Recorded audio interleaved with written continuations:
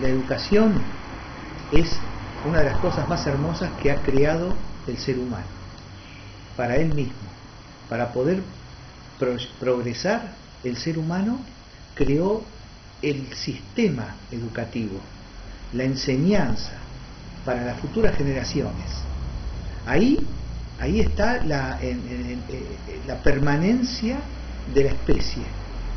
No está en otra cosa que no sea en la educación, porque en la educación entra el conocimiento del pasado, de la historia, el, y, el, y, el, presente, con, con todo lo que es para el futuro también, la ciencia, la técnica. Entonces, la educación es fundamental para el ser humano, para salir de ese primitivismo. Y educación es, una cosa es educación y otra cosa es instrucción.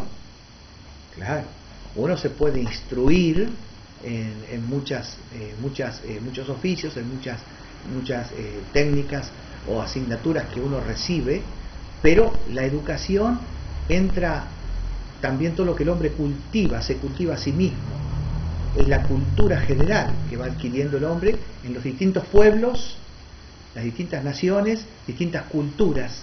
Y ahí está la educación, porque no solamente la educación tiene que ser algo lo universitario, no, puede haber una gran educación en, un, en una cultura primitiva que tiene sus normas de convivencia, sus reglas, en fin, eh, con su arte, su, su, ciencia, su técnica.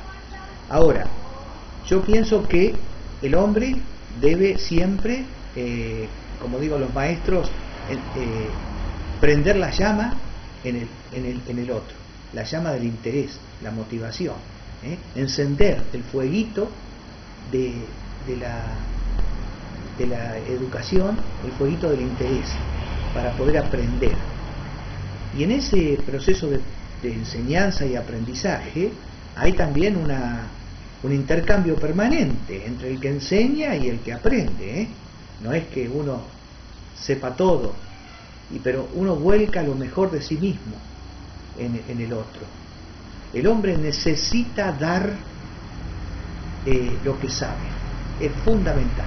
Así que la educación es la base de todo, de la sociedad, donde se edifica la sociedad, es la base.